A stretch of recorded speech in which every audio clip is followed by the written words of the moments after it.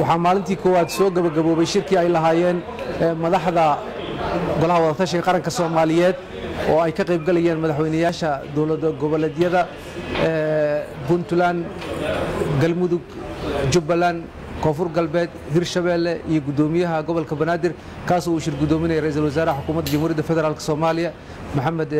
xuseen rooble madaxda waxa ay ka wada hadlayeen oo ay ku kala warqaadanayeen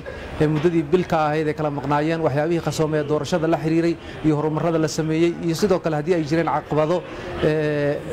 ku horgudbanaa in shirka ama laga gungaaro xilligii doorashada.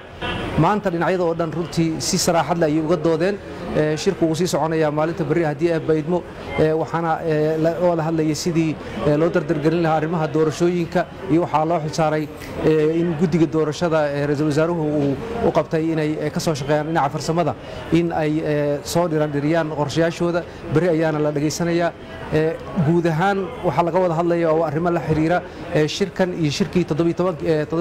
kii mey ma jirto wax qorsho ah oo laga leeyahay in haba yaraatee la bedelo qorshihii ama heshiiskii kii sebtembar mararka wararka qaarkood ee dadku ay sheegsheegayaan ama maaragtay laysla dhex maray. Haba yaraatee wax ka jira ma jiraanin